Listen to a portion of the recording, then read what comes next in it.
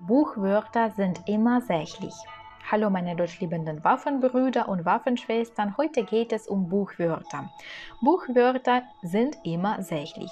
Buchwörter gehören zum abstrakten Wörtern. Ihr habt bestimmt schon das Video gesehen, in dem ich über die sächlichen Sinnesgruppen spreche. Falls ihr es noch nicht getan habt, Willkommen auf meinem YouTube-Kanal. Zum sächlichen Genus gehören die folgenden Gruppen nach meiner Methode. Abstrakte Wörter, Atomgruppe, einzelne Wortgruppen, die Wörter, die am Ende einen oder zwei Konsonanten haben. Die Gruppe abstrakte Wörter enthält Buchwörter.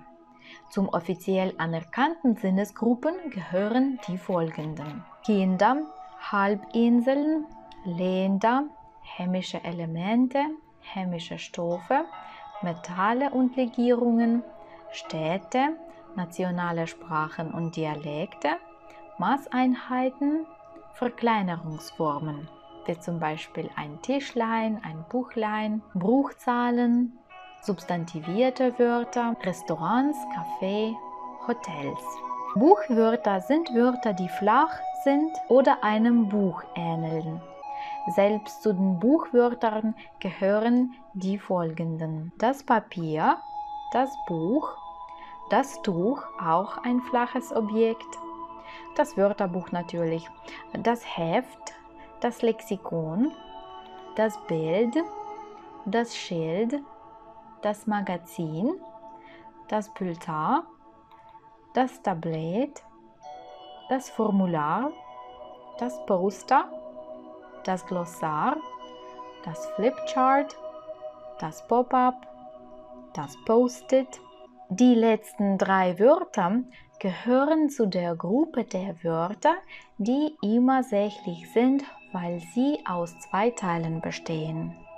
Hier könnt ihr eine Tabelle sehen, wo solche Wörter gesammelt sind. Das Windows, das Window und das Fenster sind auch flache Objekte das Label, das Segel, das Kleid. Das Kleid. Wieso ist das Kleid ein flaches Objekt? Jedes Kleid war irgendwann nur ein Tuch, also ein flaches Objekt, ein Stück flachen Gewebes. Dasselbe gilt für das Wort das Segel. Deshalb ist das Kleid und auch das Segel immer sächlich. Das Blech, das Board, das Gewand, das Feld ist auch ein flaches Objekt. Das Pad ist auch ein flaches Objekt. Und das iPad auch natürlich neutral ist, auch zu den Buchwörtern gehört. Das Blatt, das Blatt Papier oder das Blatt, das auf einem Baum wächst, beide sind flache Objekte. Das Geld auch ein flaches Objekt das Lacken auch ein flaches Objekt. Es ist immer leichter, sich das Genus der Wörter zu merken, wenn wir wissen, dass es bestimmte Sinnesgruppen gibt, zu denen verschiedene Wörter gehören und somit gehören sie auch zu einem bestimmten Genus. Es ist leichter, als wenn wir verschiedene Wörter, die angeblich keinen Zusammenhang miteinander haben, lernen müssten und jedes Mal sich merken müssten, oder sich irgendwie ausdenken müssten, wieso dieses oder jenes Wort zu diesem oder zu jenem Genus gehört.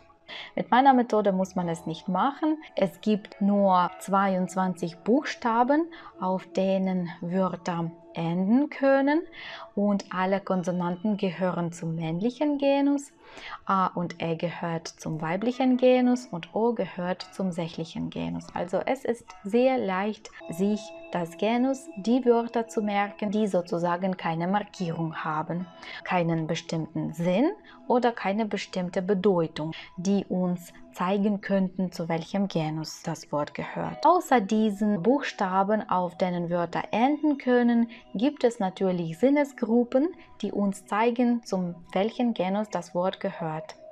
In meinen nächsten Videos werde ich versuchen, auch über die sächlichen Sinnesgruppen zu sprechen.